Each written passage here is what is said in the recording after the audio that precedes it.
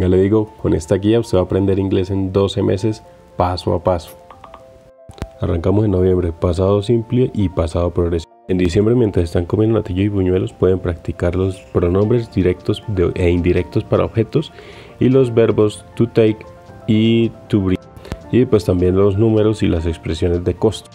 Entre enero y febrero van a estar preparándose para aprender comparativas y superlativos. Y pues frases en pasado con utilizando verbos irregulares. De ahí en marzo, abril viene un pedacito que a muchos de ustedes les gusta. Primero viene expresando órdenes y solicitudes.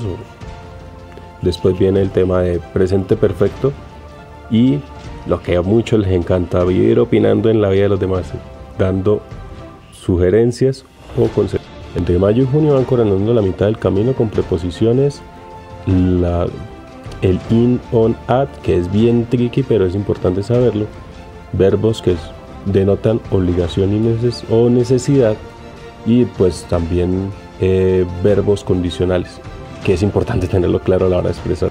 Vean, y ya en julio y agosto, cuando vayan a echar la, la elevada de cometa, van a estar viendo eh, verbos en futuro, presente continuo, to do y to make, la diferencia entre el uno y el otro. Ya la última parte en septiembre y octubre entre el amor y la amistad y las brujitas, acá van a estar aprendiendo comparación entre frases, eh, la diferencia entre to say y to tell, eh, pronombres directos de objetos y adverbial frases.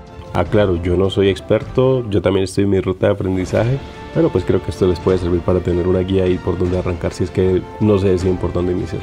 Entonces, como siempre, espero les sirva.